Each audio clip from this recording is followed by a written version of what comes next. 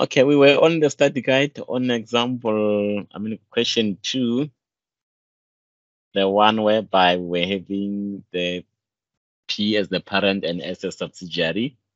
So we had done the elimination journals of the intra-group items together with the together with the share capital. So now it was about the drafting of the consolidated financial statement. So we turn to page 17 of the study guide or page 17 of the learning number. Now we are drafting the consolidated statement of financial position for P Limited Group, which is gonna be found on page 15. So we had the goodwill. Remember, we did uh, we removed all the common item together with the intra group. So the goodwill was what the one remaining. You remember we were here, right? Last week on Saturday whereby we're doing the elimination of the loan of P Limited and the loan of S Limited. So since these are eliminated, now we can start drafting the consolidated uh, financial statement.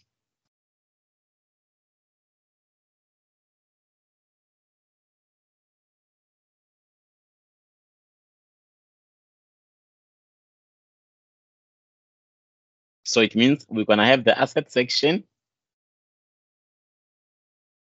So since goodwill was created or was recognized, so we're gonna take this goodwill and then we record it in the asset section because it's now came into effect.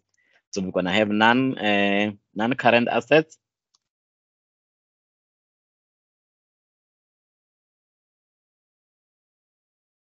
Then we have a goodwill, which is how much it was uh, 10,000. Then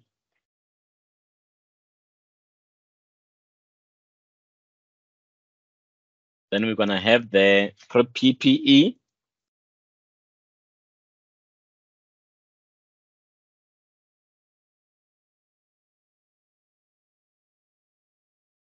So a PPE, it will be the one for the parent and subsidiary for for the parent from the pre-adjustment trial balance, it was shown as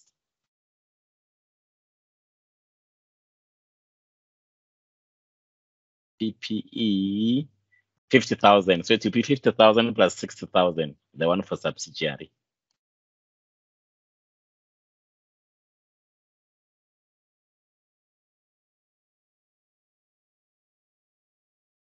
Fifty then plus 60. Then they give us 110. Then we can close our non-current. So when we close our non-current, they give us an amount of 120. Then we proceed further to current assets.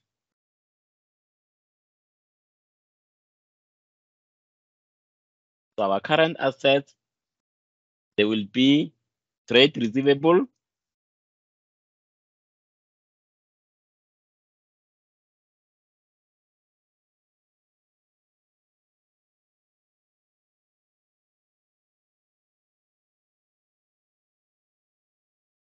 the trade receivable, which the one for subsidiary and the parent for the parent, it was 40. Then we add it with the one for subsidiary, which is 15,000. Then we close, then it means we have 55,000. Then we have the inventories.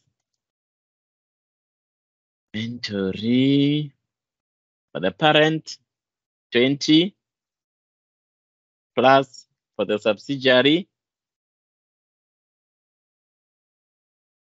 Then we have 55. And then we have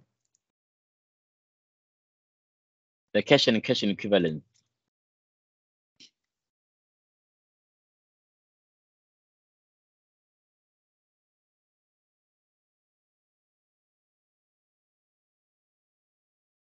The cash and cash equivalents is how much?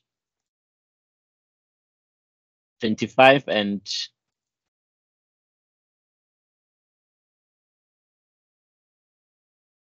Fifty-eight.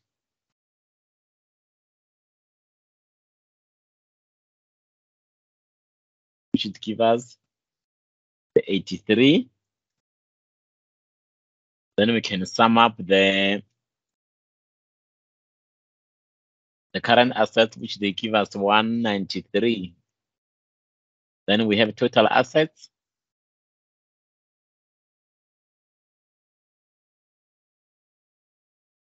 So our total assets will be 120 and 193, which will be 313. Then we're going to go to the equity section and the liabilities.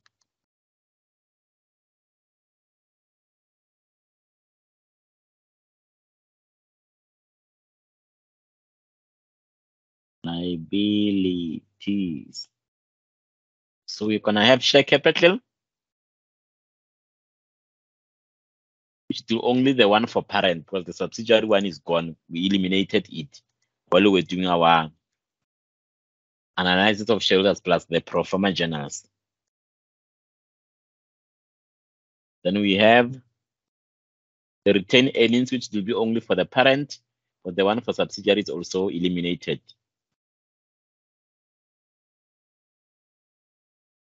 Which is 80. Then we sum up the total equities. Okay, let me do this.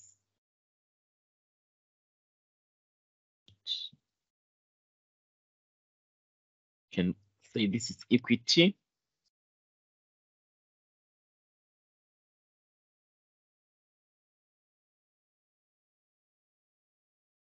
So the equity will be 180.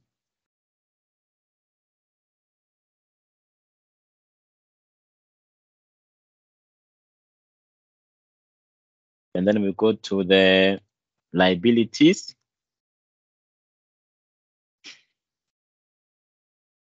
The liabilities we have, it will be the non-current and current.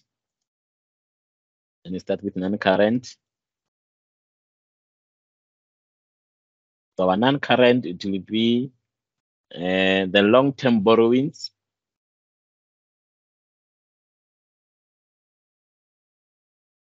Which it was the one shown in the pre-adjustment trial balance as if we go back there there was say the long-term borrowings of 100,000 under P limited. So for S limited, there was no any long-term borrowings. So we only recognize the one for P. That's 100.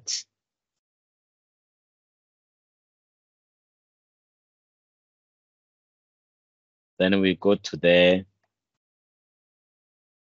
current liabilities.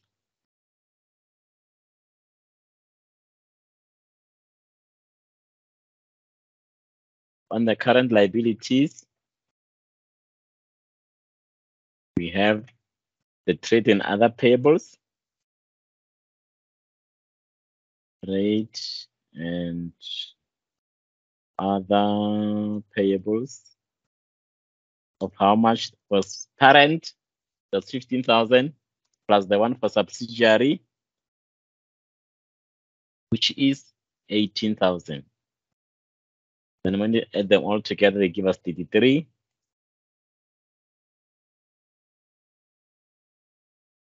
Then it means our total liabilities will be 133 because it will be the sum of all this. 133. And then when we sum this and this for total equity and the liabilities,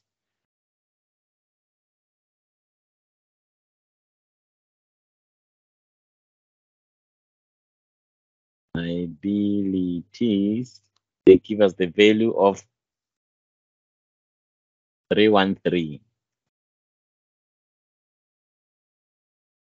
So we're all happy up to so far with that exercise question two. We fine? Any Yes, question? thank you, sir. Okay, so it means now we can proceed, which I will close this. Then it will be from part of the learning unit number, I mean the class for last week. So now we're gonna proceed to X, the learning unit number four. I mean number three, the consolidation of a partly owned subsidiary. So mostly this module will be focusing on the consolidation of partly owned subsidiary, whereby you as a parent, you don't acquire the full interest in the subsidiary. You only acquire a certain percentage. So now the certain percentage that you acquire to also determine your voting rights. So they say you should be able to consolidate the financial statement of a group companies at the date of acquisition. So this is your outcome of studying that a particular uh, learning unit. So the concept is here to be partly owned subsidiary, proportional of ownership outside the owners, and the non-controlling interest, the NCI.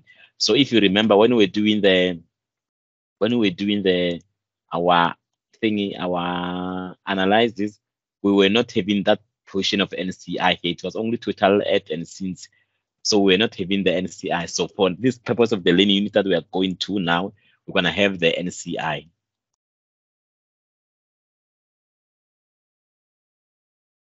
Then they say, introduction. In learning unity, we dealt only with the wholly owned subsidiary. In other words, where the parent acquired the entire issue share capital of the subsidiary. However, there may be various reasons why it should be impossible for the parent to take up all the shares in the subsidiary. Some of the owners may not be prepared to sell their shares to the parent, or the parent may not have sufficient funds to purchase all the shares. The other owners of the subsidiary are known as non-controlling interest or outside owners. Non-controlling owners may consist of ordinary owners and preference owners, which will be dealt more in the unit number nine. The consolidation of the of financial position of a partly owned subsidiary at the date of acquisition. The same rule apply for consolidation purposes, except that we now have to make provision for non-controlling owners' interest in the profit of subsidiary. So if you can look at an example, we've got a P Limited who have acquired shares in S Limited. Okay, hold on. There is someone who's unmute and I am hearing my echo at the background. So I don't know if the person is using a speaker or something. Can you mute, please? Thank you. So there is a P limited and S limited. So they tell us that uh, there's a 80% of voting rights which are acquired by P limited into S. So the percentage which was not acquired by P for non-controlling will represent the 20% of the voting rights. So it means in all in all, P limited acquired 80% of the shares that was issued by S limited. To make provision for the non-controlling owners interest in the profit of the subsidiary, it is important to know how to calculate the percentage of interest in the subsidiary. So we've got example two on the study guide where they're going to show us how to calculate uh, that percentage. So hold on, I want to check something here.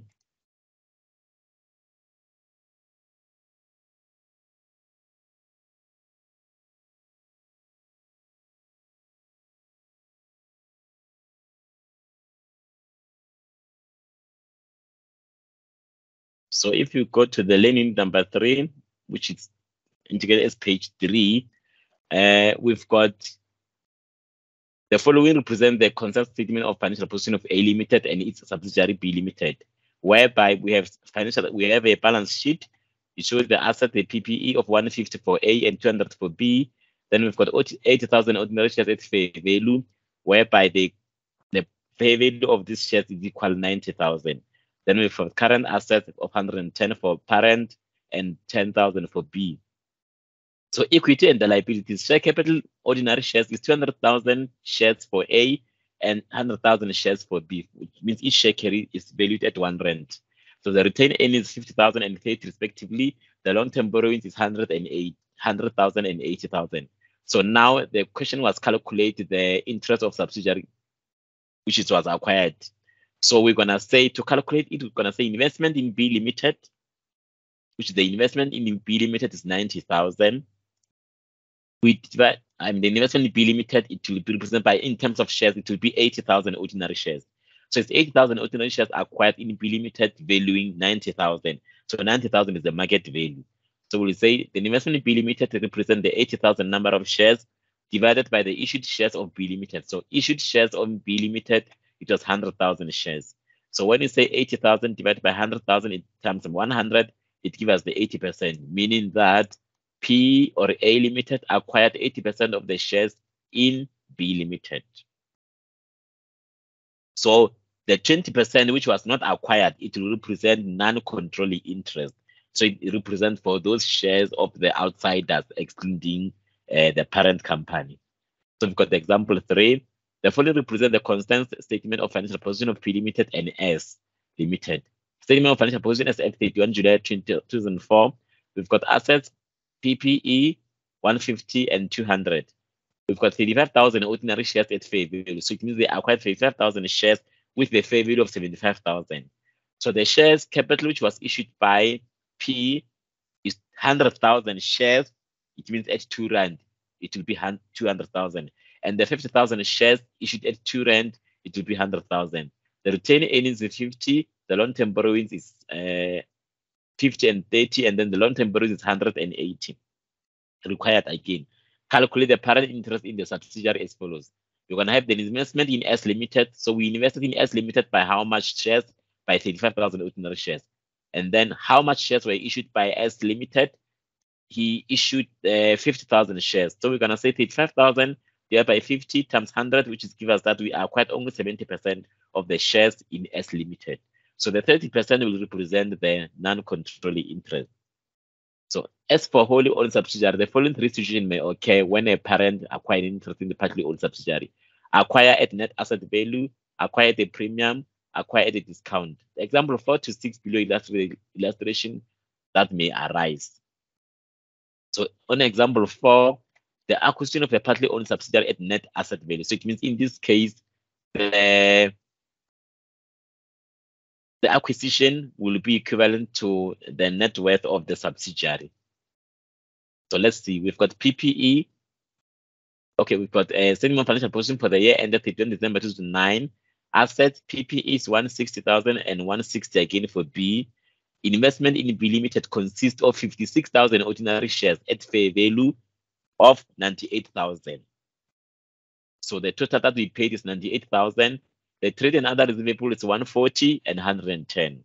So the share capital consists of 100,000 ordinary shares at 1 rand each equal 100,000 and 80,000 ordinary shares at 1 rand each equal 80,000. The retained earnings is 120,000 for A limited and 60,000 for B limited. Trade and other payables represent 178 and 180. Now we follow the basic consolidation procedure. We determine the percentage. We're going to eliminate the common item and we do the consolidations of the remaining. So now I'm going to share again the Excel sheet. Okay, now we are drafting the example four.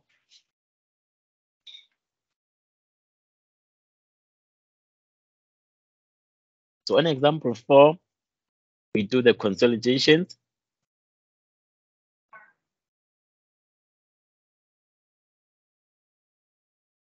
So the basic rule, as we know now, determine percentage, because now it's a partly owned subsidiary. I mean, it's a partly owned. Sorry, Steadily.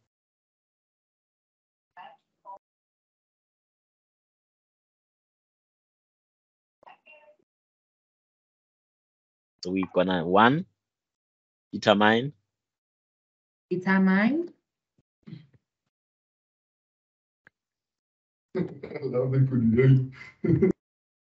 determine the percentage acquired by the parent.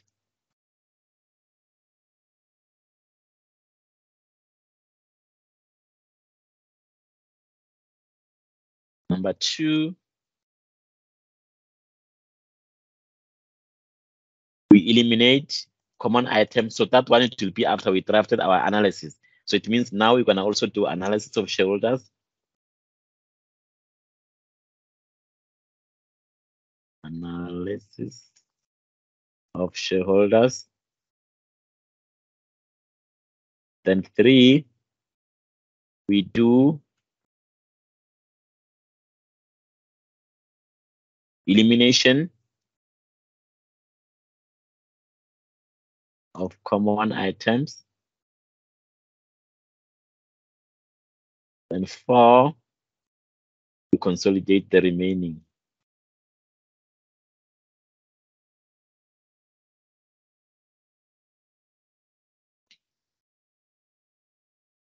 So now let's determine the percentage.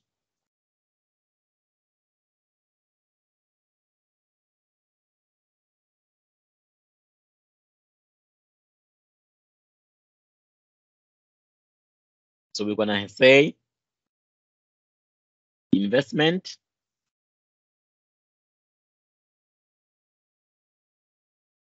in we invest in who?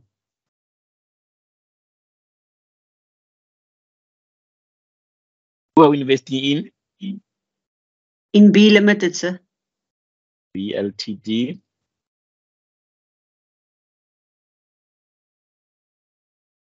Then we divide by the share capital. Share capital of B Ltd. So note, this is only in shares.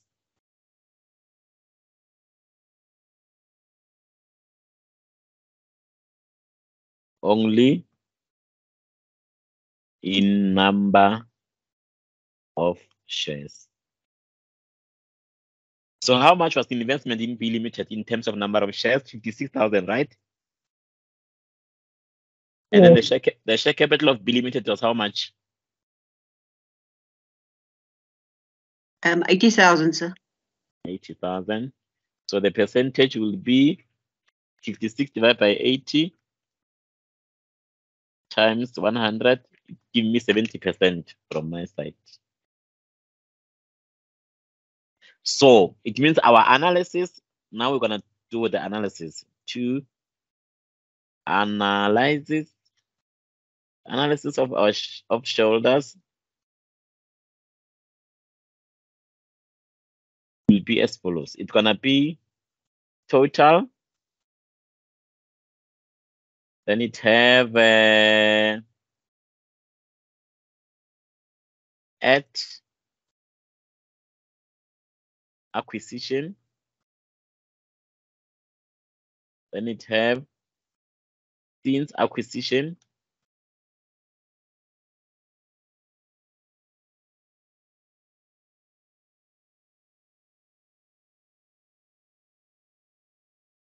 Then it have non-controlling interest, of course. Non-controlling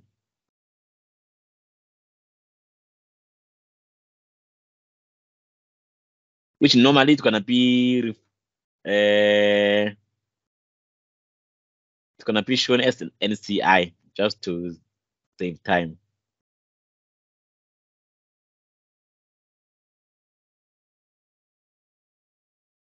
So this will be our NCI. So let's proceed. So at acquisition,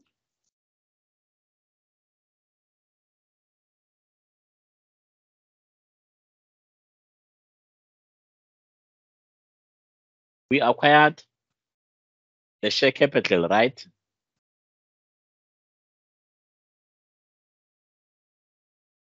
Of how much in value in B uh, in B Limited? 80,000. 80,000.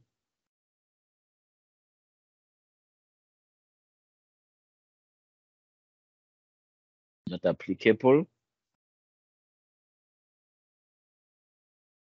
Oh, sorry, it can't be 80,000 here. Now, this this portion is, it, remember we said here 70%. So this will be based on the 70%. So as this one. And then this part will be based on the 30%, the remaining. So now we're gonna say 80,000 times 70% is how much? 56,000. 56,000. And then the remaining balance is how much? On the non-controlling, 24. Then we've got the retained earnings.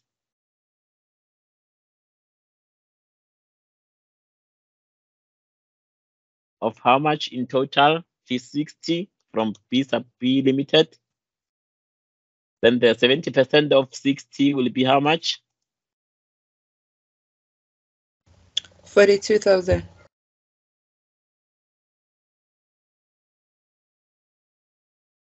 So the difference in the balance will be 18,000.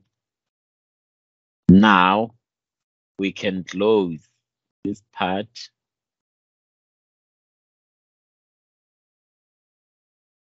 Fifty-six thousand. So let's close that part now. Which it will be Forty thousand. Oh, twenty-four thousand. is the person is there anyone who is delayed? Because I think the answer that I give is the very thing that already passed. So here we're gonna have the addition of 56 plus 42 is 98, right?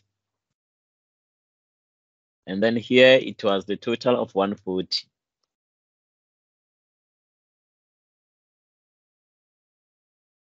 Now, the purchase, the consideration given, the consideration given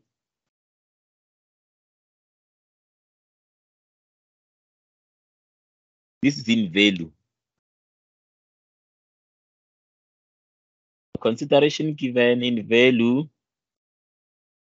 we paid how much to acquire uh, the investment in B Limited? We paid how much? Ninety-eight. So we say 98,000 here.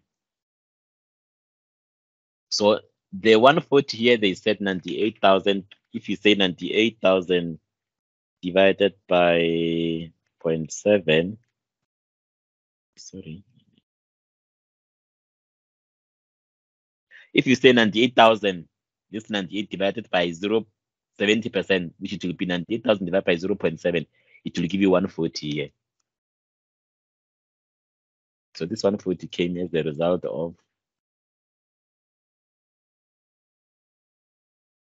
uh, 98 divided by 0.7.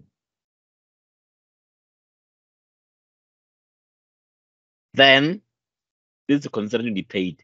So far, the 98,000 that we paid versus the 98,000 that the guy is waiting, it means we don't have any purchase difference. So it means our goodwill is zero. We happy, right? Yes. Okay. Now let's proceed. We're gonna go to, it means we did step one, we did step two. Now we're gonna eliminate common items. So these things, they're gonna represent the common item to be eliminated. They qualify for elimination, this one.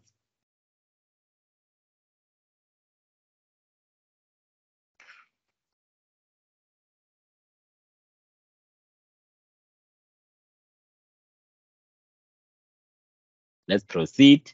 So we draft the pro forma journal.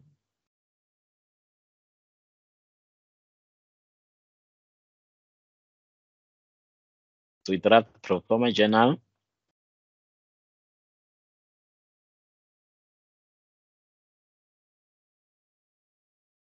Okay, hold on for two seconds or so.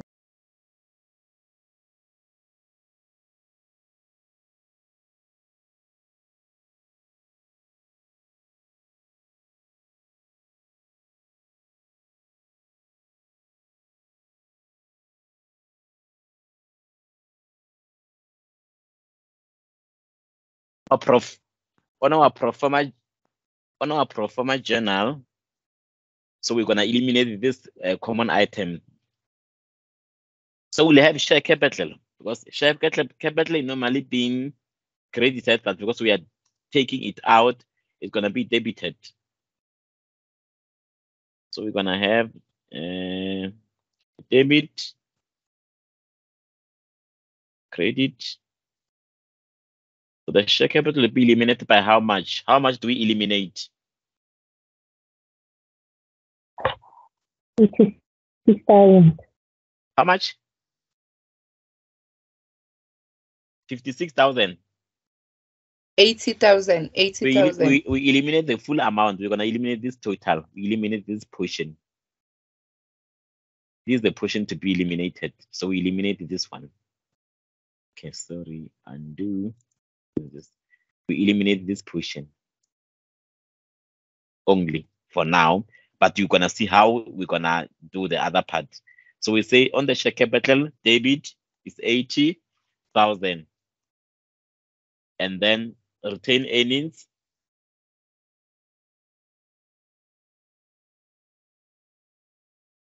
is how much? 60. Then we have investment in B Limited.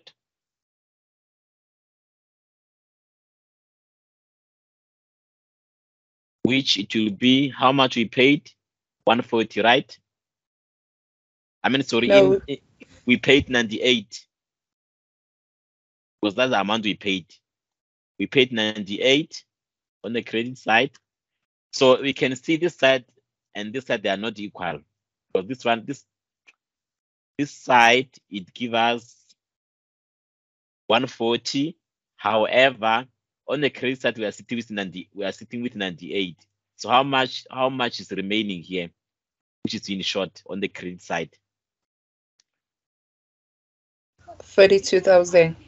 Yeah. So we are, in- we are, in- we are in short of 42,000. So this 42,000 it correspond with this one.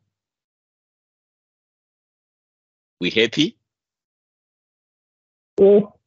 And then this 42,000, it was called what? Non-controlling interest. So it means here we're gonna say on the credit side, we put non-controlling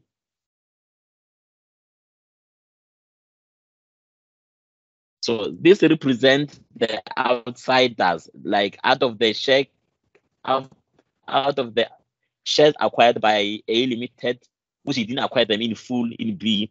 The other outsiders, they are having the shares to the value of this much. Like, are we clear up to so far? Any question with regard to this NCI thingy?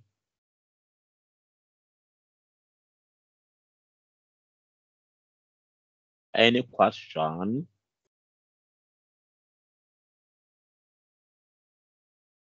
So no question. We are all fine. We are all clear. Yes. Okay. Yes, sir. Thank you. proceed. So this will represent our NCI, which is gonna be the one to go to the SFP. So normally with this module, uh, you are recommended to show that this is SFP, this is a, PL, stuff like that. So they prefer that you show that this one is gonna go to the SFP when you do the journals. So all, all in all, this they represent the SFP. So this one is eliminated, this one is eliminated, this one is eliminated, but this one will be recognized. So it means this one will be recorded in the SFP when we'll be doing the statement of financial position in full. So we're gonna show that amount of 42,000. So this one will be recorded. Recorded in SFP, statement of financial position. We still clear, right? So since we did the elimination of the common item, now we can do the last part. We consolidate the remaining. So let's do the consolidation of the remaining.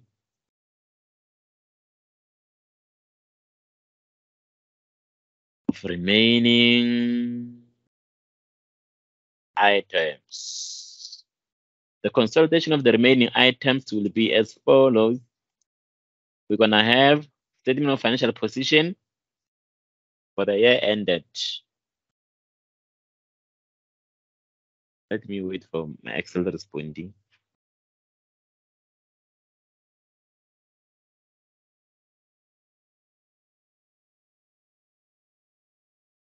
Okay, statement of financial position for the year ended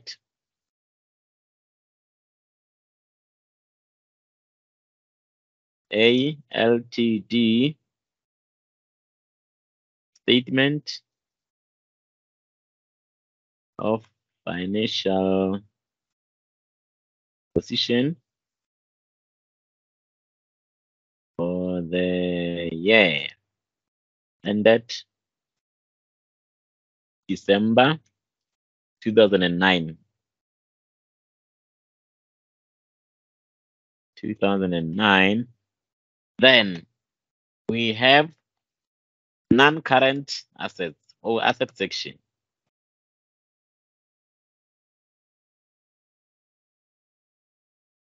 So on the asset, we have non-current assets.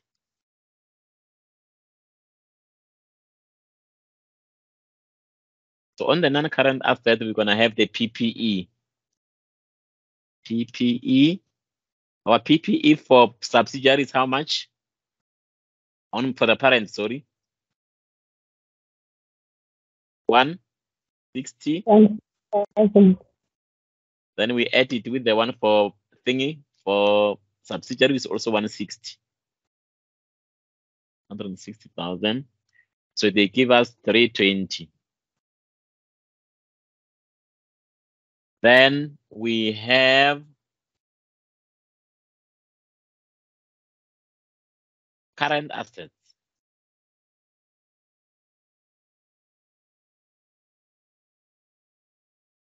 On the current assets,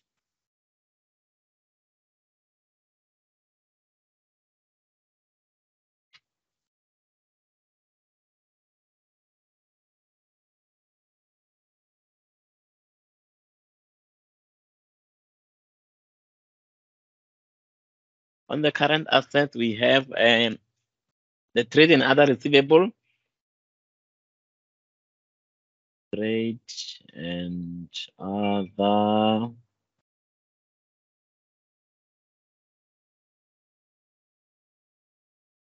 Receivables to the value of the 140 for parent plus the 110 for subsidiary which they give us 250. Then we're gonna add the total assets here.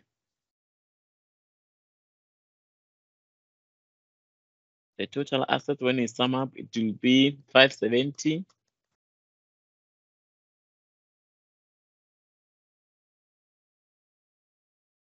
Then we have equity, equity and liabilities. So on the equity and the liabilities, we're gonna start with equity. Then we have share capital. Share capital. For parent only. Remember, now it will be only parent. For subsidiary is gone. So the share capital of, of parent is how much? Hundred thousand. And then uh, the retained earnings al- also for parent only. One twenty. 120. Then the sum up of this it will represent the 220. Then we go further. We'll have a okay. Let's just leave it like this for now because this will represent the share capital alone. So when you sum up this, they will give us 120. Then we remember what I said this thing that must go to the SFP. Now we're gonna take it because SFP remain, represent the same same financial position. So since now we are doing the same statement of financial position, we have to include it now. So we're gonna include it and then we say non-controlling interest.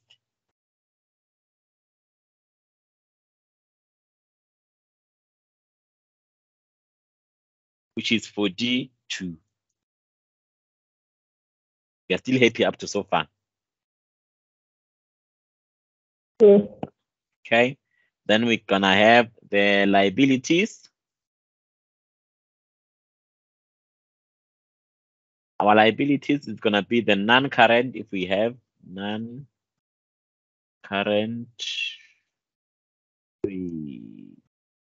non-current liabilities. If we have them, do we have any long-term loan? I don't see it, so it means here it will be zero. Then we go to the current liabilities. Current liabilities, which we have a trade and other payables. Trade and other payables. For parent, it's how much? 178 plus the subsidiary. They give us the value of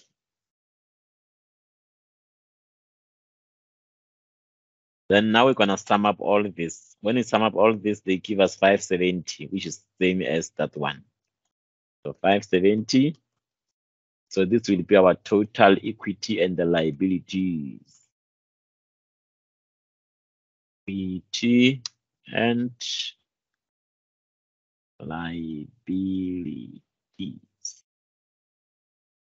We still clear up to so far? Any Yes, question? Any question before now? We're gonna go to the situation where now the, there is a goodwill.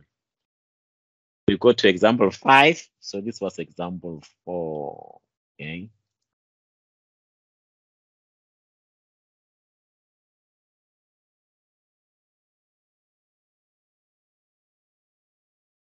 Example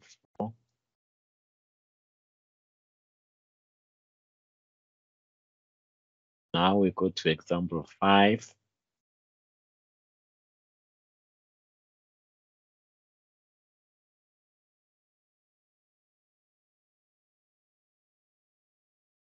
So in example five, they say the acquisition of a partly owned subsidiary at a premium. So it means now there is a goodwill. So the following are a abridged statement of financial position of A Limited its subsidiary B Limited as at 31 December 2009, which is the date in which acquirer, I mean A Limited acquired its interest in B Limited. The SFP is shown as follows: PPE is 160, 160. Investment in B Limited 64,000 ordinary shares at and cost price of 140. The trade and other receivable is 98 and 110. The share capital ordinary shares 180. The retained earnings is 120 and 60. The trade and other payable is 178 and 130. Now we do the same rule that we did before. This rule is everywhere. As long as you are doing the consolidation, you're gonna always have this rule to apply. So now we do the rule again.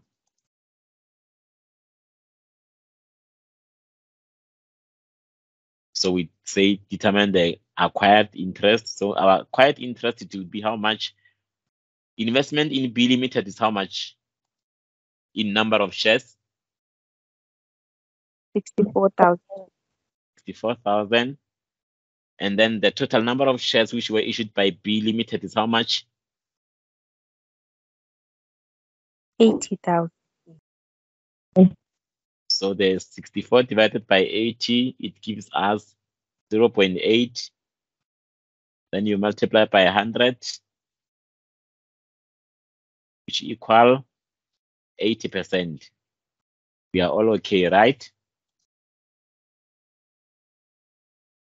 Yes. Now we go to number two. What is step number two? What must we do now after determining this?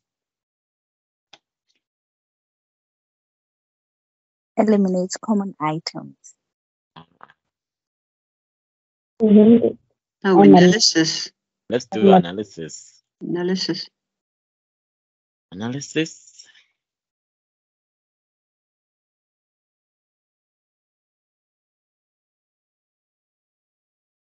So suppose the question comes straight and it says draft the consolidated statement of profit and loss only.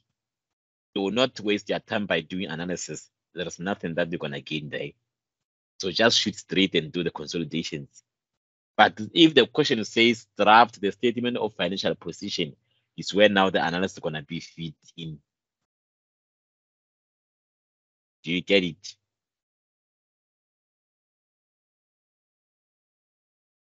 Hmm? Can you repeat? Sorry, I didn't hear properly. I can hear you. Your network is not that much clear. Repeat the statement. Uh, Yeah, I was saying, repeat what you said. I didn't- oh, I was saying when you are doing a question and the question says draft a statement of profit and loss. Am I still audible?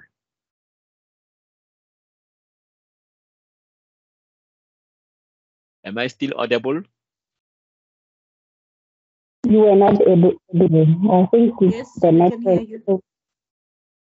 Hear you. So, Okay, I was saying if the Yeah. question is, I was saying if the question says draft the statement of profit and loss, there is no need for you to draft the analysis of shareholders. Okay. And if the question says draft the statement of I mean statement of financial position, therefore analysis of shareholders is gonna be needed. Uh, okay.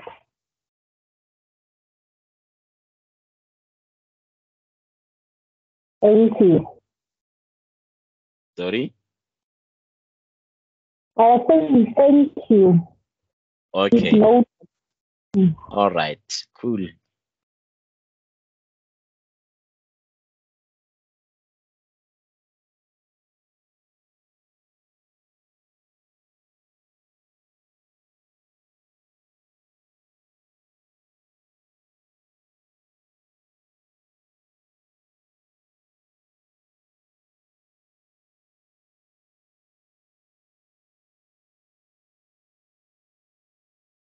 I also gonna post this thing on the chat here. You see it.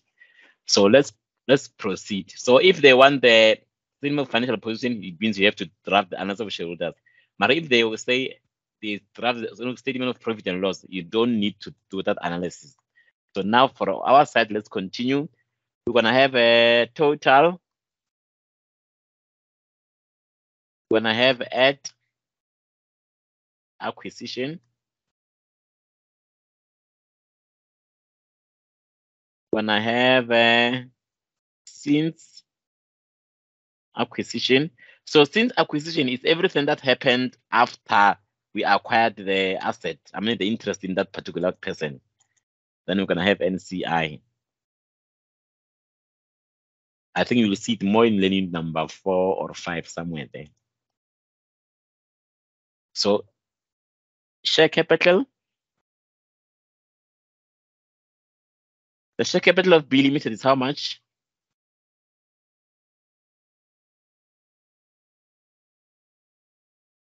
Eighty thousand. 80. And then remember here is 100. Here is 8 is percentage that we calculated. We said the percentage is 80, right? Here it will be on 80%, 80%, 20%. So the 80% of the 80,000 is how much? 64. Here it will be zero because we don't have anything to do with since. Then here it will be 16.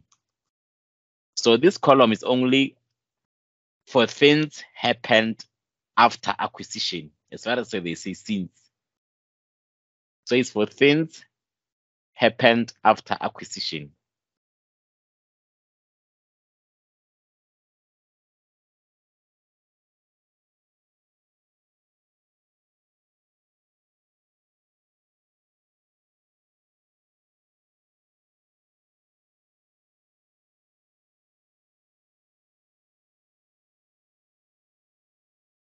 So let's proceed now. We have share capital and then the retained earnings.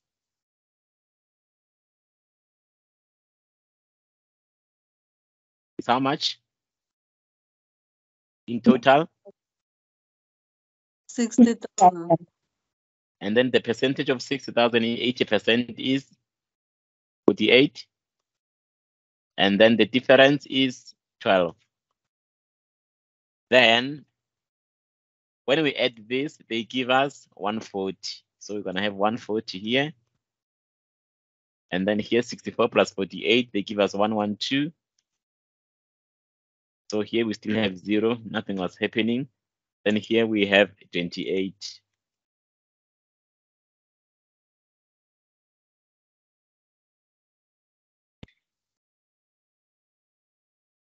Then the consideration paid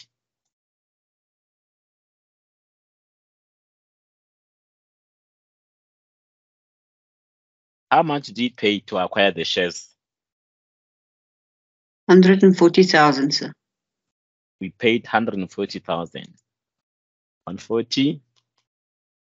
Then we say 140 minus 112, it gives us how much? 28,000. So the 28,000 since is a bargain, is a goodwill. So it means we we the company was trading a good uh, way to the extent that we have a we give it a bargain. So if you want the value here, it you're gonna say here's also 28. So if you say 140 divided by 80%, it's gonna give you 168. You can verify it with your calculator to get this value. You say 140 divided by 0.8 it will give you this. So now here we don't have anything to do with the purchase difference because it's still 28,000 here. So it's zero. And then the total 168, 140, here it will be 28,000. Are we still in the same order, in the same line? Do we still understand each other? Yes, sir. Yes, sir. All right. So we've done with number one, we're done with number two, we're done with number three. Now, oh, sorry, we're done with number one and number two. Now we have to do the elimination. So number three.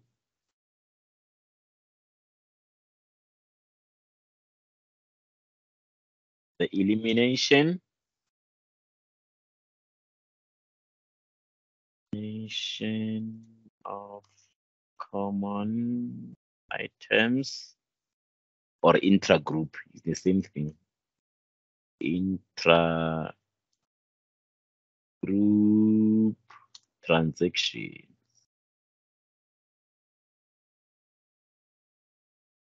Now we're gonna do them in the form of a pro forma journal. So please master this pro forma journal. There's no way you're gonna answer the question without it. No ways. Forma journal. It's gonna have a debit and a credit.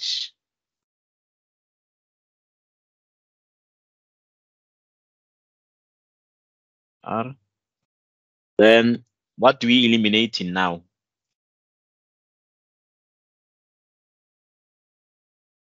What are we eliminating? Common items, sir. Check. Mm-hmm. What are those common items? Share capital the Retained earnings, the goodwill. Sure. Share capital, Retained earnings. the retained earnings,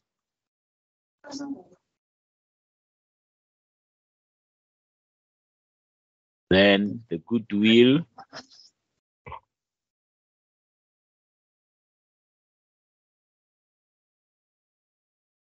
well, let's start here for now. The share capital elimination is 80,000. Is the total. And then the retained earnings, 60.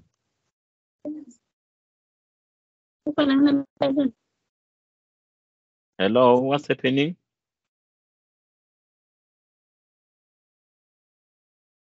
Okay. Then the goodwill that was recognized is how much? 28,000.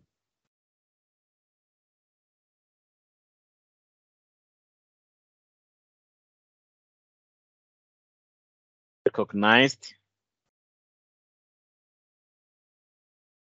So we're gonna take this goodwill and record it here, 28,000.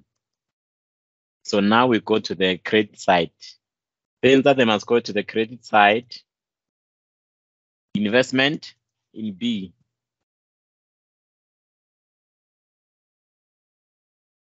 BLTD. We invested with how much? 100, 140,000, sir. So 140.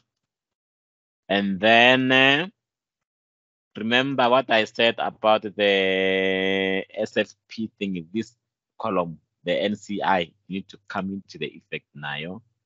So we're gonna have non-controlling interest because it comes as a result of this side, it doesn't balance with this side. Because this side is 168, this side is 140. So in order for the two sides to balance, there's 28,000 shortfall, right? So you put that 28,000 here.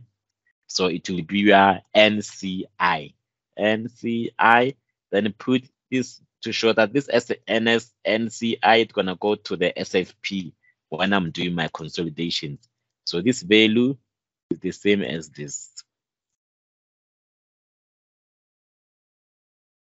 And also gonna go to the SFP. Now we did number one, we did number two, we did number three. Now we do the last one, consolidations, number four.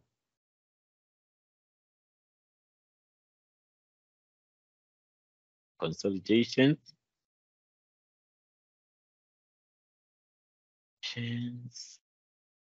Of annual theme statement. So we've got the SFP, statement financial position, as at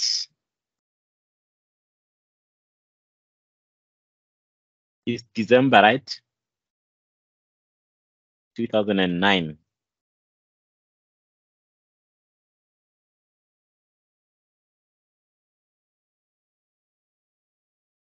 Then it's gonna have non-current assets.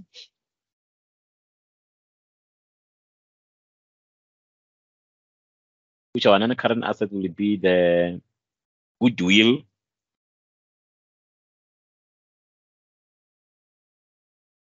Will be the PPE.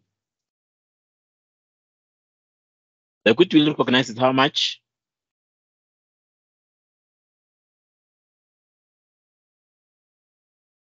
Twenty-eight thousand. Twenty-eight thousand.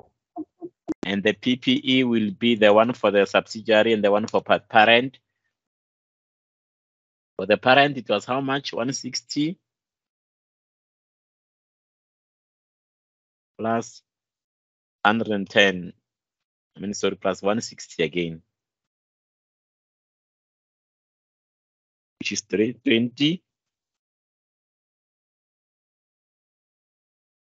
So this, when we sum them together, they will give us 348.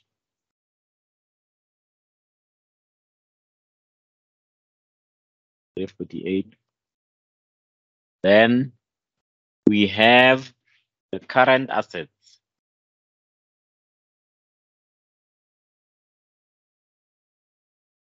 Our current assets is gonna be what? The trade and other payables.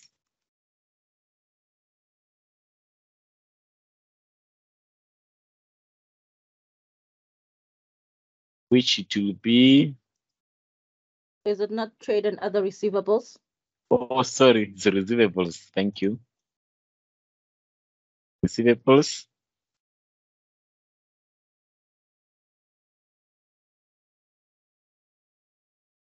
The trade and other receivables of how much? 98 plus 110. We have a value of how much? 208. So our total thingy, our total asset will be 556. We're still on the same page, right? Yes, sir.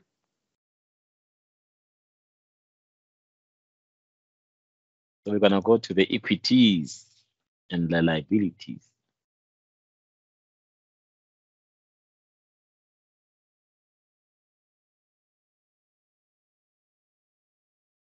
Equity.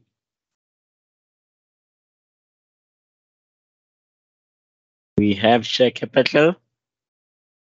Now we only focus on parent. The share capital of the parent is how much?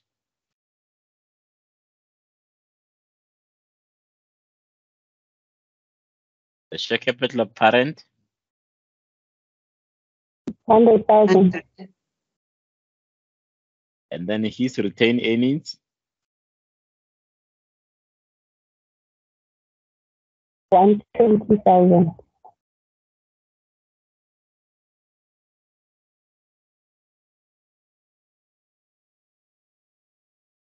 okay?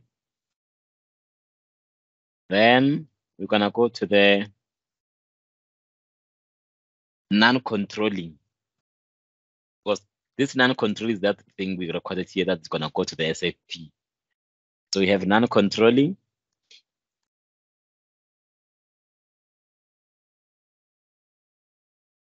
Our non-controlling is represented by, we said it's how much? Twenty-eight thousand. Then we go to the we go to the current liabilities. Okay, just hold me for a second.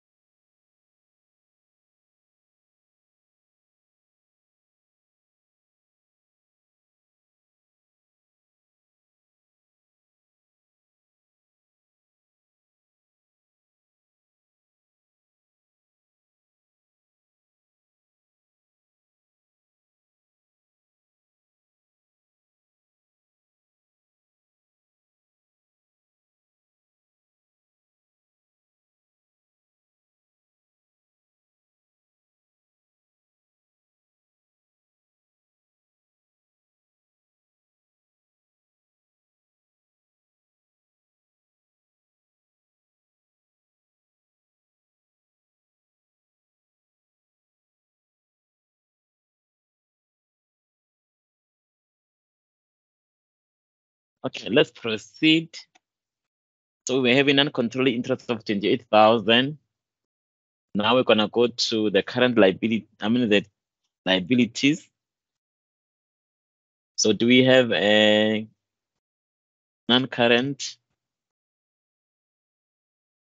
liabilities, which is zero because we don't have now one.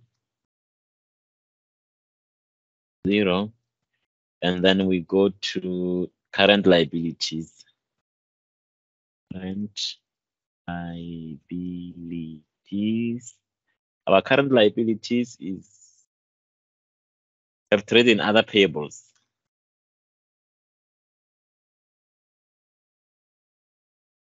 Trade and other payables is how much? 178 plus 130, which it gives us the total of 308.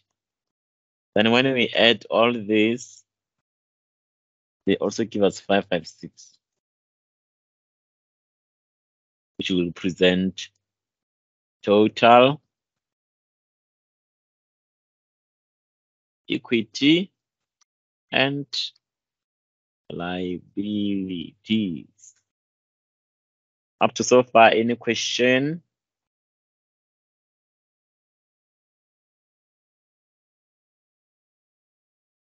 Any question up to so far? No question, sir. Okay. Now we've got example six question partly on subsidiary discount, which normally this doesn't form part of this module, so it's not gonna be shown. So we have a question one, which will be similar of what we did before. Excluding that there were debentures for 10,000 in the parent and 10,000 in the subsidiary, which means some of the debentures, they represent the thingy, the common items that need to be eliminated. And then uh, what else? Nothing, yeah.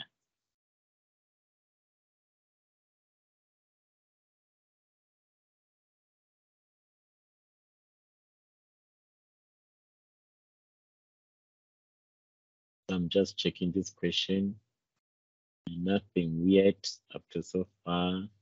It's only the debentures, elimination of the debentures owned got by the parent and the subsidiary of the 10,000. Then after that elimination, there's nothing left. But I only have the debenture of the of the the one from subsidiary because it will be the, the 10,000 in the subsidiary less the 10,000 which given back to the parent.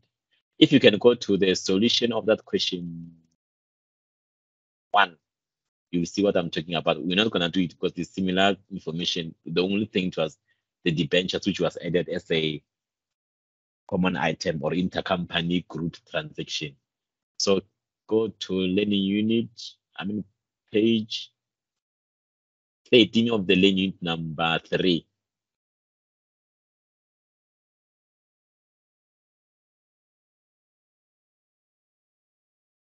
You see what I'm talking about?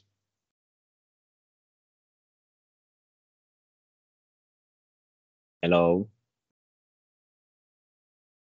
Yes, sir.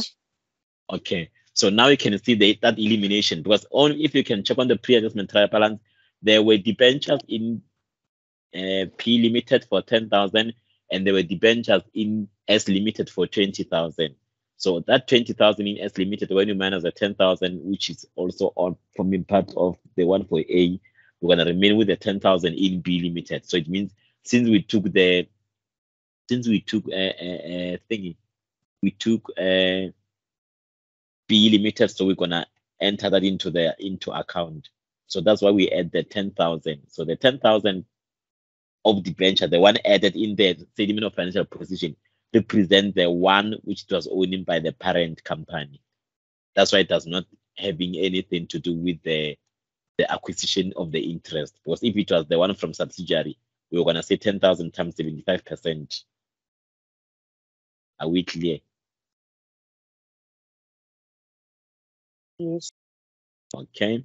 So when we proceed further, now we have the comments. The comment is a setting of bank balance permitted. In terms of IAS 32 paragraph 42 states that the financial asset and the liability may be offset only when an entity has a legal enforceable right to set off the amount intended to settle on a net basis. According to IAS 1 the 2, assets and liabilities and income and expenses may not be offset unless required or permitted by IFRS. In IAS 1, paragraph 53, indicates that an entity reports separately both assets and liabilities and income and expenses, offsetting in the statement of profit or loss and other comprehensive income or financial position, except when offsetting reflects the substance of the transaction or other event de- detracts from the ability of users both to understand the transaction, other events and consolidation have occurred, and to assess the entity's future cash flow. It is in rare circumstances that this condition of offsetting of bank balance will be met. So the question two, what was needed? Let's see. On question two, they we drafted the statement of financial position, and then we're having PPE unsecured loan from S, and then we have a long-term borrowing so the, it was given to P and also the other one from S. So they're going to offset each other. So it's also that journal which we're going to do the intercompany or intra-group. You will see when you do that journal for elimination, and then uh, current assets. Yeah, that's the only thing that is different. So if you go to solution, you will see that after they did the analysis, they do the pro forma journal where they're gonna now eliminate uh, they eliminate those uh, loans of 20,000, which they are shown in page 15 of the study guide. Are we fine with that elimination of intra-group loans? The rest remain the same. It's the similar same pattern. You can just treat it on your own. Are we fine? Yes, sir. Yes, sir. Thank Yes, you. sir. Okay. So now it will be the end of this learning unit. So up to so far, anyone who didn't understand the learning number three, please notify me so that we can tackle that before we go to learning number four.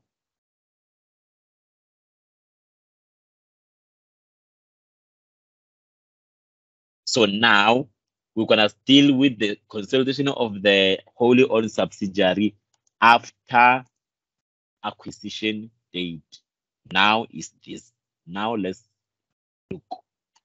I've got the Molanyana slides which I will share. Notify me when you see them.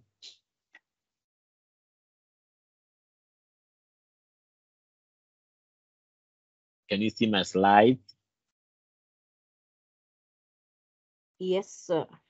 Okay. The consolidation of a partly owned subsidiary after acquisition. So this is Molanyana summary of learning number four. When a subsidiary is a partly owned, it means that the parent company does not own full share capital of the subsidiary. The remaining part not owned by the parent will be represented as a non-controlling interest. So far, you are fine with that part, right? We dealt with it. You are fine, right? Yes. Okay. Now, in this learning unit, we look in instances acquisition was made in prior year. So in this case, you will have that we are dealing with the financial year for year ending 2022, but the acquisition was not made in this financial year. It was made either last year or it was made in the year 2020 or 2019 and going back. So now is where we're going to show this things, how do we treat them after the acquisition date? The partly owned subsidiary, which we already explained, there are 100% shares issued by subsidiary. The parent company acquire 80%, which is already dealt. Then the subsidiary will remain with 20% of the share issued. Then this 20%, this 20% will represent an uncontrolled interest in the terms of the financials. Now, let's dissect. So this thing, it was based on my previous uh, study guide. So if you can check this page, they're not gonna correlate. So in in my case, in your case here, you'll be checking uh, page. Let's see. Example one of learning number four. So here in your case, you'll be dissecting uh, example one. Like in example, they say the following are appreciating of financial appraisal for the year ended 31 December 2006. So now the year is ending on 31 December 2006, but we have to check the acquisition date. So here the acquisition date was on 1 January 2006. So it was in the same year. However, there will be certain information that's gonna happen between 2 January 2006 up to 31 December 2006. So whatever's gonna happen between 2 January 2006 up to 31 December 2006 will fall under since acquisition. So if I edit this now, I will say based on the information appearing in page four. Is your learning to also say page four, right? Learning number four Yes, sir. It's fine. is is also say page four, ne? Yes, example one is on page four. Okay. So now when we edit this, we'll say example one on page four, you check the acquisition date. Subsidiary was acquired on 1 January 2006, right? We all happy, ne?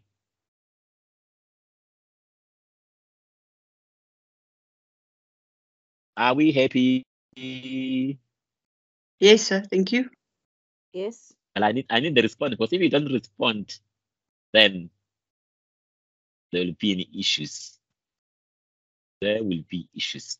So now the year-end consolidation in our case is when? It's on 31 December 2006, right? Ne? Yes. Now, our analysis of shareholders will be divided into three parts. One, at acquisition. Two, since acquisition to the beginning of the current year. But since this is also in the current year, it will just be since acquisition to the end of the current year. So you won't have this part. You won't have this part. Then from there, you do your consolidations. So I will show you this again when we are having example where it's gonna have the acquisition which was happened maybe two or more years ago. Uh, let me check the example. I think it will be more in example of learning number five. The chances are high. Yeah. In this case, if you go to example, not even is it example? Yeah, go to example two on page seven. It starts from page seven. The acquisition of a wholly owned subsidiary at a premium. Fine, let's forget about the premium part. We already know how to treat with a premium. It means there is a goodwill. The following are the of financial position of A Limited and its subsidiary B Limited as 31 December 2006. So here the financial year is 31 December 2006. Okay. Now we say we given the assets, we given the equities. not there is the information. A Limited acquired its interest in B Limited on 1 January 2005. So here the acquisition now is changes 2005. We are fine, right? Yes. Yes, sir. And at which time the B Limited retained earnings was 26,000. Fine. At the date of acquisition, consider the carrying amount of the assets and the liabilities be equal to the fair value thereof. No problem. We have a of profit and loss, sharp. Then we proceed further. We have information given, sharp. Now they say draft the statement of profit and loss and other comprehensive income and the statement of changes in equity and consolidated of financial position as at 2006. So now they want the information on 31 December 2006. So I'm gonna deviate a little bit and go to my Excel again. I will share the Excel again. So on your side, note these things. Let me go back. Note this, write these things so that when I go to the Excel, you see the timeline. We've got the, sub, the acquisition date is 1 January 2005. The year end is 31 December 2006. So our analysis of shareholders will, if it's divided into three parts, it's going to have at acquisition since acquisition to the beginning of the current year. So the beginning of the current year, in this case, it will be 1 January 2000 and what? Anyone who can guess? 2006. Yes. So it means the division of the three parts we're gonna have at acquisition is 1 January 2005. Then year end is 31 December 2006. So our since acquisition to the beginning of current year, it will be 101 2006. So please write this information so that when I show it on the Excel sheet, you can understand it. I will give you just two minutes. 28 percent you will be finished writing this.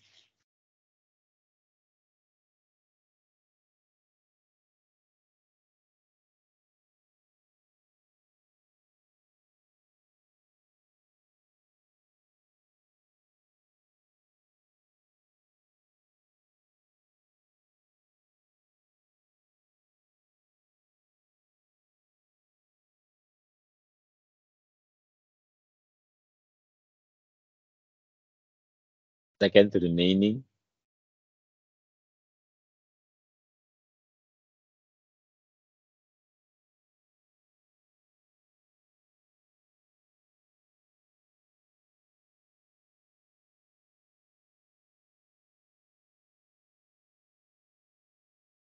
I'm still gonna share this thing though, but just write for now.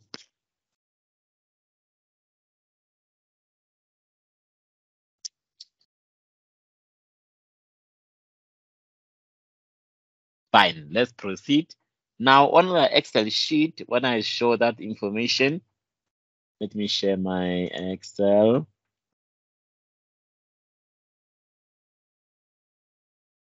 You can see my Excel, right? Yes, sir. All right.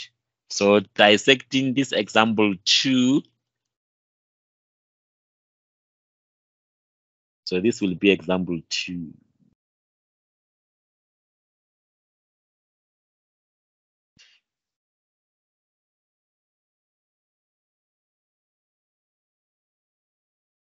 So we're gonna have at acquisition. So it's like we are doing timeline.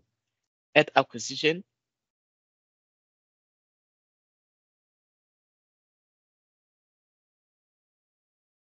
it will be we acquired this guy on 1 01 2005, right?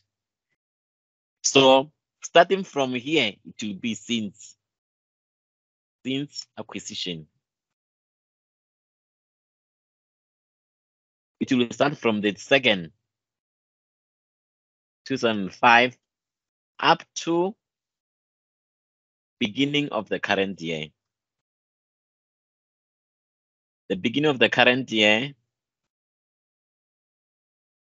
which it will be 1 01 2006. We all fine, right?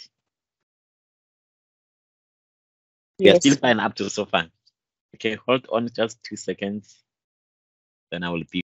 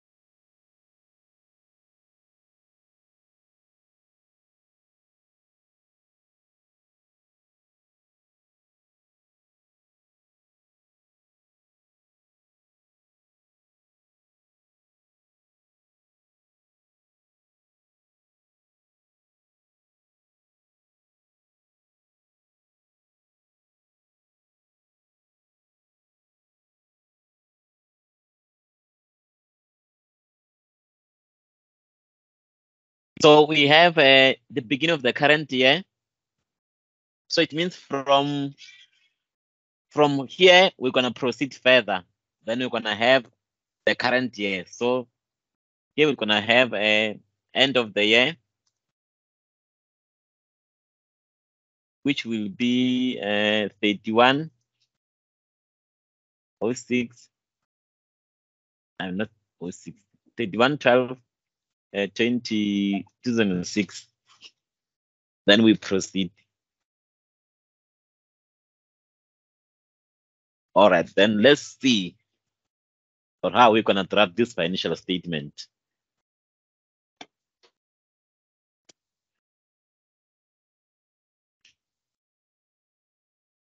So are you fine with this timeline?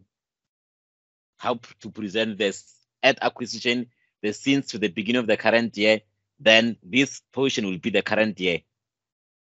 Are we fine? Yes, sir. Okay. So mm. now it means whatever information that's gonna sorry.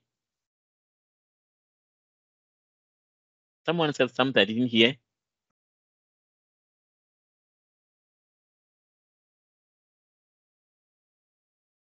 Okay, I think we- we're gonna proceed. So we have um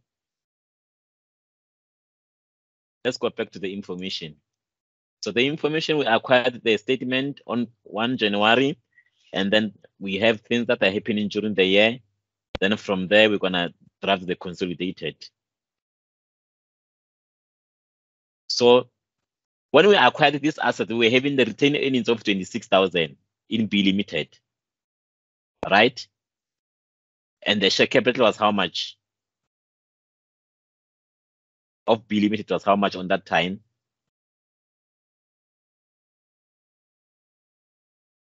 Eighty thousand, sir. 80,000 because the statement says there was a thing set at the date of acquisition, consider the carry amount and the, and the asset that be equal to the favor, favor. So it means whatever we see here is still the same on the date of acquisition. So now we're gonna draft our thing. So we're gonna also follow the same procedure of a. Uh, we do the interest and then we do the elimination like one it will be the interest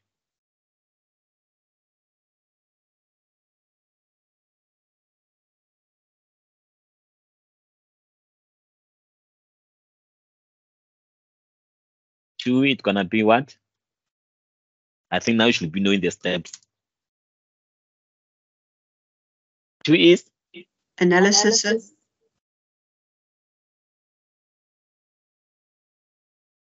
three The pro forma journal.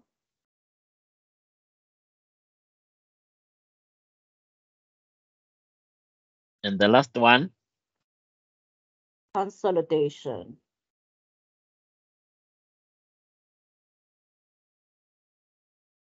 Consolidations. Cool. So let's see now. And now let's calculate the interest. We acquired how many shares?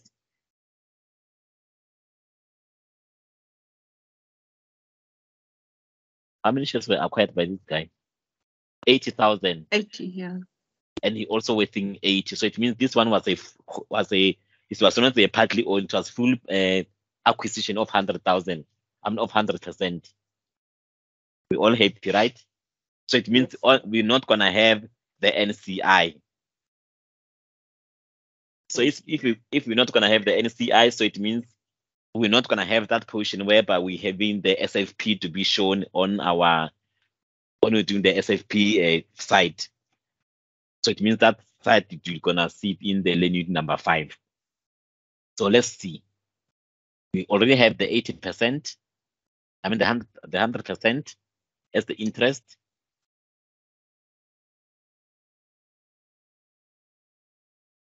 So two, we can do the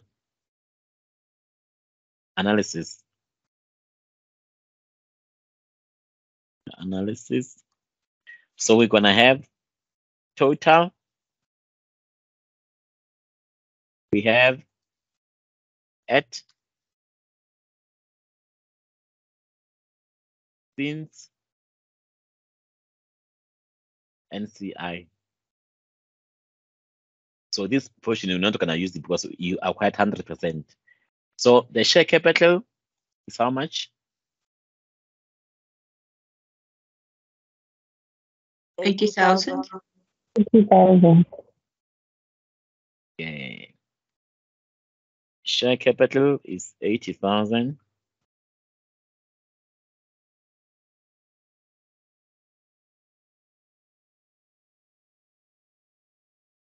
So it still represent the 80,000 because it's in full.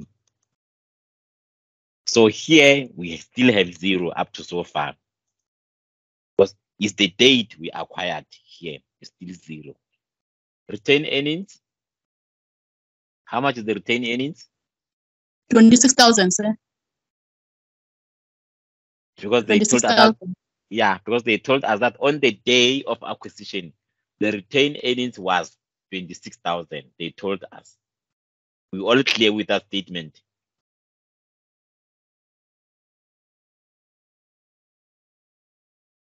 Yes, sir. Okay. Then we have zero, zero site. Then we proceed. So this guy paid how much? Okay, when we add this, they give us 106.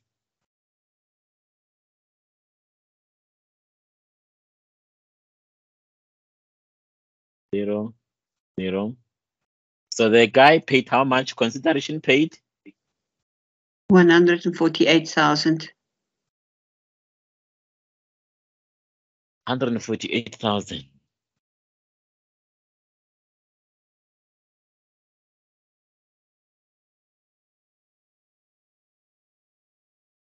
So it means our goodwill will be forty-two. Right?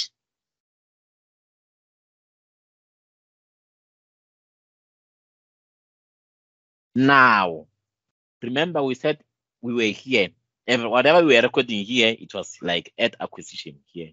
At uh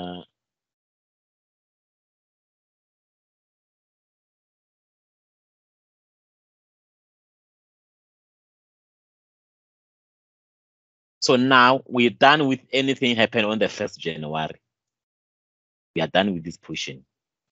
Now we want to record things starting from here, going here. So now it will be since acquisition. When I have since acquisition, since acquisition. So it's since acquisition to the beginning current year.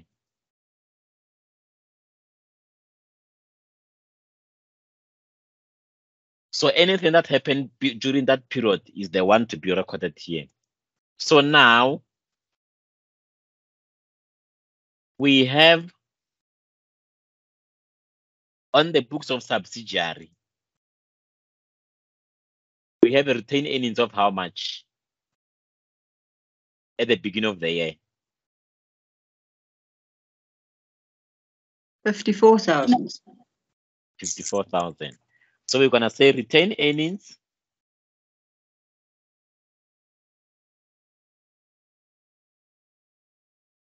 Of 54,000. How much was the retained earnings at the date of acquisition? No, twenty-six thousand.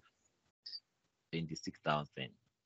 So the difference between 54,000 and 26,000 is what happened between this period from here to here. How much is it?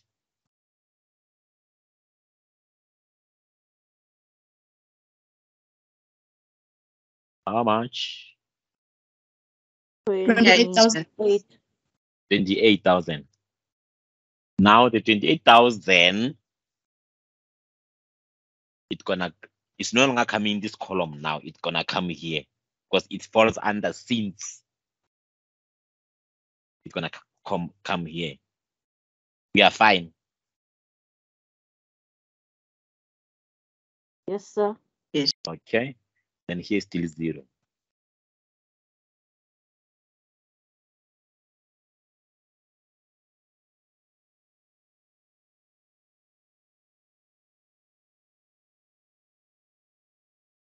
Now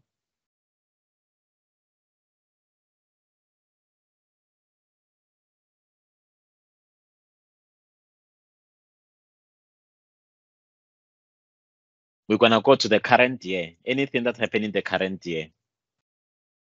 Current year. In the current year, we're gonna have the profit. What profit happened?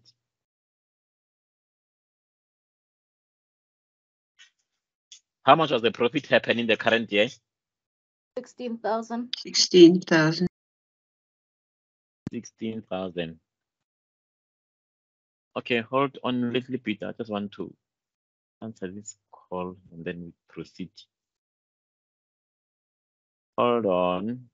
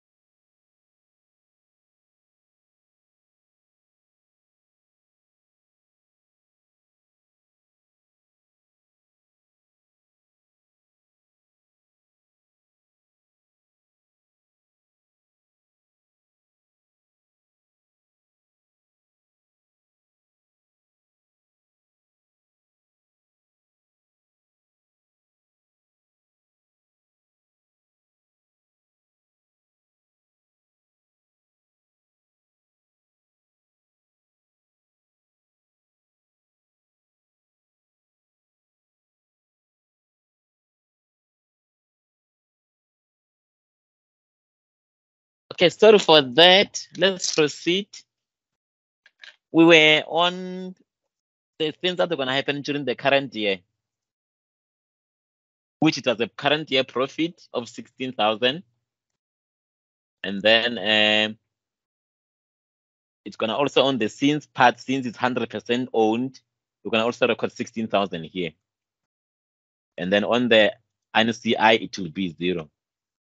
Then if you go to the statement of change in equity under the retained earnings for B Limited, beside the profit for the year of 16,000, what happened also?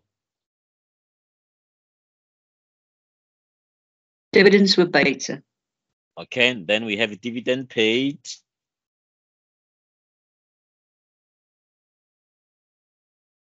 The dividend paid is how much? 10,000? 10,000. And also 10,000.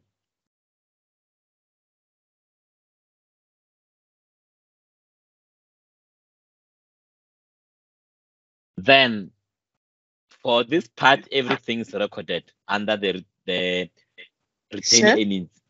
Can you hear me? Yes. Sir. Sorry to interrupt you. The 10,000, don't we deduct it? So don't we put it in brackets? Oh, yes, it should be in the bracket. Thank you.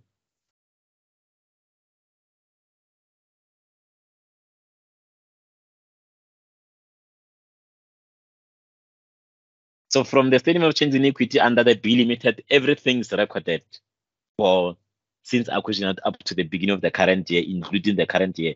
So now we may proceed further. Then we can say the 148, you add the 28, you add the 16, you less the 10,000, then it will give you 182 here. Okay, I will extend this uh, box after. It will be 182. So this one will still remain my thing. This will still remain as 148. Nothing's gonna change to it. Then my since acquisition will be 28 plus 60 minus 10 is 84.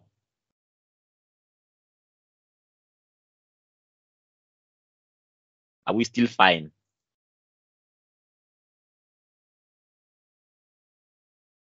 Yes, sir. Thank you. All right.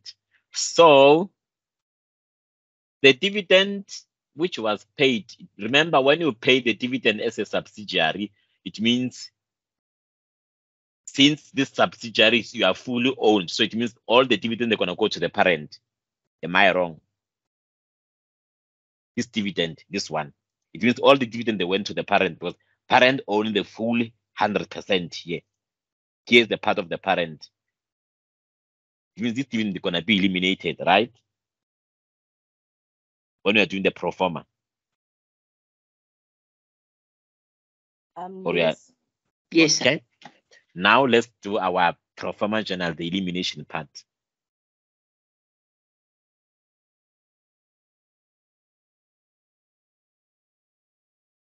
On the pro forma journal, we said we're gonna have debit, credit.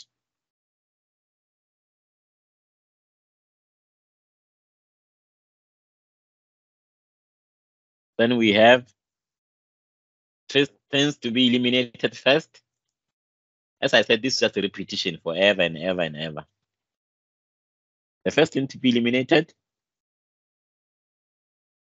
share capital, The capital, which we're gonna eliminate how much? Eighty thousand. Yes. eighty thousand, Then we eliminate retained earnings.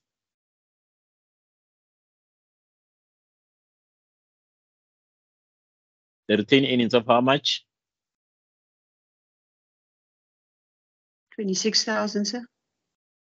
And then we have a goodwill recognized of 42.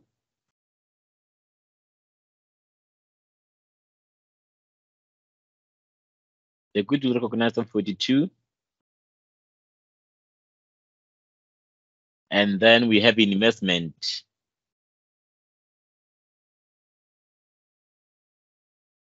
in BLTD. We invested by how much? We paid how much consideration? 148,000. 148. So this side is 148, this side is 148. So it means since it's a wholly owned, there is no NCI. Twenty-six thousand. So do you notice that now since it's a wholly owned, there is no NCI to be recorded here? Yes, sir. Okay. Then we, we do the elimination of those dividends. This dividend paid, the portion got by subsidiary is 100%. So it means we're going to say the dividend received, normally the dividend increase on the credit side when you receive them, right, as an income. So because we are eliminating them, we're going to say dividend received. Dividend received by who? By A Limited, right? You follow that part. Yes, sir. we? Then Yes, dividend sir. paid by B Limited.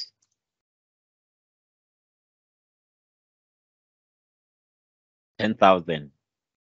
Sorry, this thing must come this side.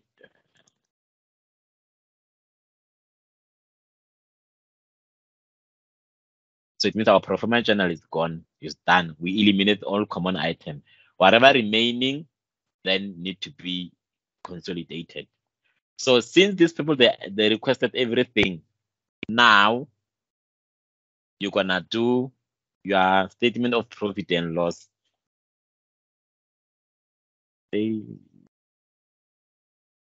Statement of profit and loss. The profit before tax given is how much?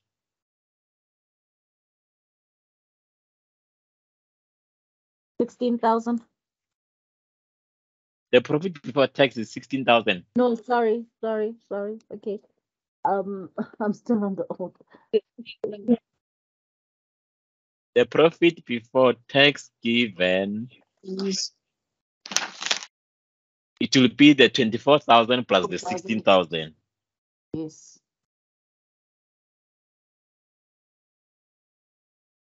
Twenty-four plus sixteen. But dividend received by parent, what must happen? You subtracted. Because they were already eliminated right here. They were eliminated here, right? Yeah. Then we minus the ten thousand. Then how much we are left with?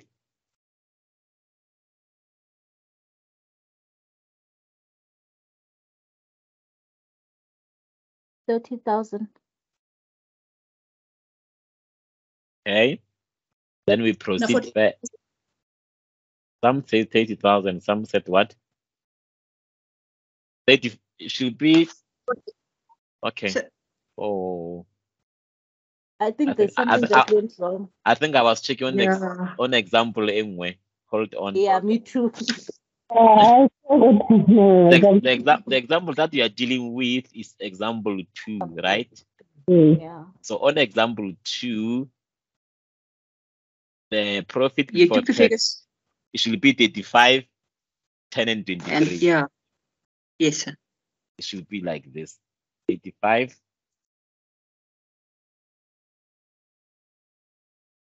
Eighty-five, one, two, three, plus twenty-three, then minus ten. We are Mm. fine right now. Yeah. Which is forty-eight. Now we can go to the income tax expense. It will be both the one for parent and the one for subsidiary. The income tax expense is how much?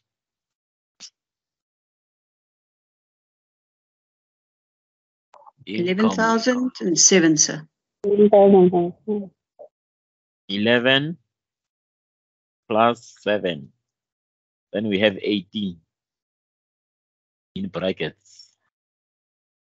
18. Then we can say we having the profit for the year. Our profit for the year will be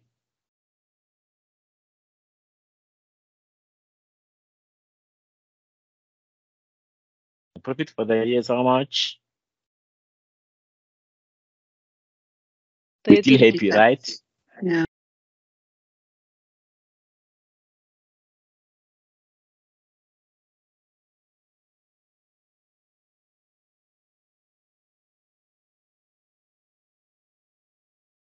Now, let's do the statement of changes and equity.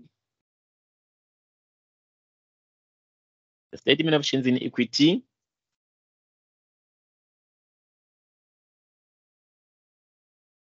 IBO statement of changes and equity. It will be as follows. Now we're gonna have share capital. Share capital. We have uh, retained earnings.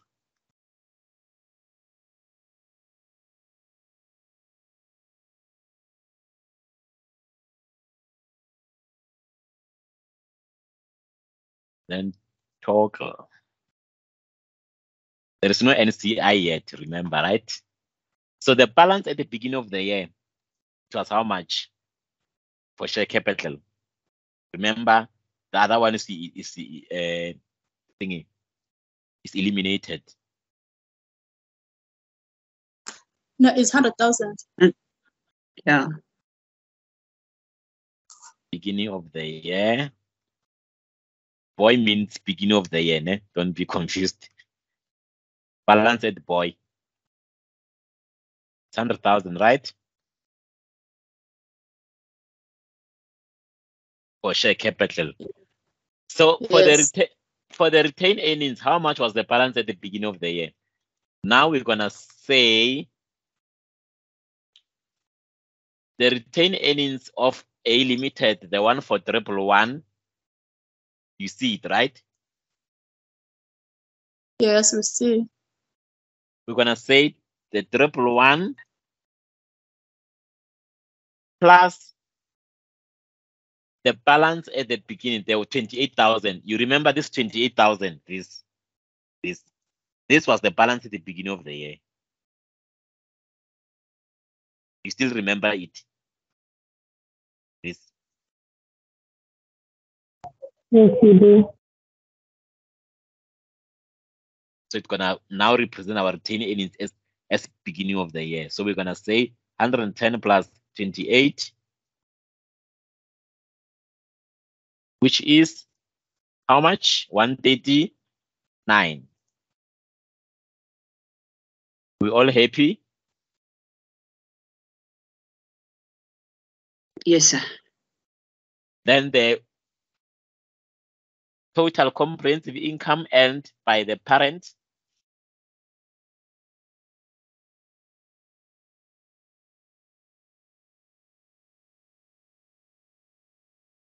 the total comprehensive and is thirty thousand. 30, 30 years.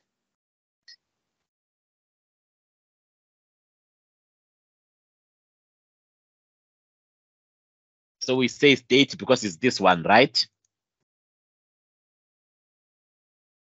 This amount come here. We're still happy. We're still running the same page. Yes, sir. Then we have dividend page. The dividend paid by who is the one paid by the parent. If you can check from the statement of change in equity, the one before consolidation, we were having dividend paid by parent as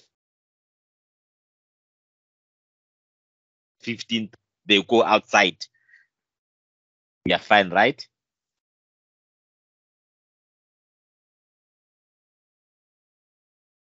We all clear. Yebo, sir. Yes, sir. Okay.